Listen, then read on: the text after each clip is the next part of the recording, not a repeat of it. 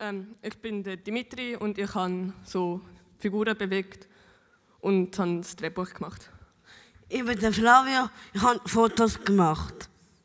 Nice. Ähm, wieso habt ihr euch äh, dafür entschieden, die Geschichte mit, äh, mit in dieser Form zu machen, mit diesen Figuren?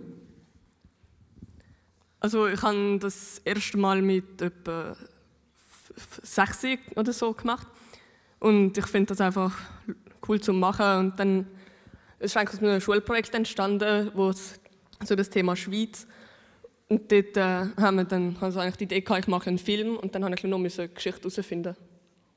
Yes, und dann hast du gedacht, die Geschichte von Wilhelm Tell kann man gut umsetzen, oder, oder wie hast du die Story von Tell dir gepickt? Es gibt ja viele Schweizer Stories. Ja, die gefällt mir einfach so. Ja. Geil. Was, äh, was wäre deine Vorstellung oder eure Vorstellung? Wie würde ein Nationalheld, wie würde Wilhelm Tell, was würde er heute machen?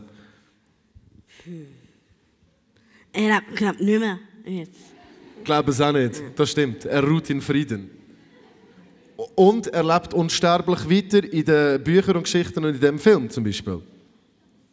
Ähm, was, stellt euch vor, das war ein Blick zurück in die Vergangenheit. Gewesen. Und wir haben es ja jetzt einiges besser. Bei uns in der Schweiz musst selten Leute in einer hohlen Gasse mit einer Armbrust erschießen oder so. Aber was denkst du, was früher besser war zu dieser Zeit? Hat es etwas gegeben? Ich weiß nicht, ich finde das irgendwie eine schwierige Frage. Hat sicher irgendetwas gegeben, aber mir fällt gerade nichts ein. Ähm, wer hat die Stimmen gemacht im Film? Ähm, die eine Stimme habe ich gemacht und mein Vater hat auch noch zu ähm, die Tiefe. Ja, und ich habe es dann noch so vom Computer höher und tiefer gemacht.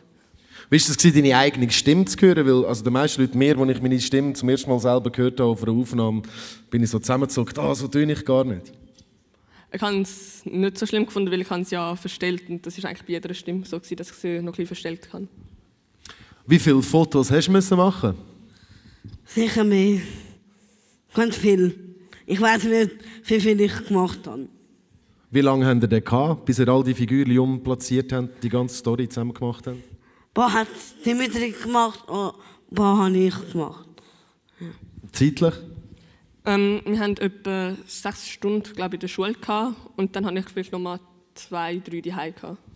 Was würdest du sagen, du, ihr habt euch jetzt für die, für die aufwendige ähm, Form von der Animation entschieden. Glaubst du, ihr habt einen Vorteil gegenüber einem normalen Film mit, mit quasi echten Menschen oder ist es eher ein Nachteil? Äh, dann keine Ahnung, also ja, weiß nicht. Und als letzte Frage vielleicht, wie hat es euch gefallen, euch eigenen Film zu schauen? Ja, so zuerst habe ich es ein bisschen komisch gefunden, aber nachher, als ich gehört habe und gemerkt habe, dass es den Leuten gefällt, habe ich mich entspannen Ich höre gerade auch die Dimitri an. Exzellent. Lassen wir die beiden entspannen. Riesen Applaus für den Wilhelm Toll!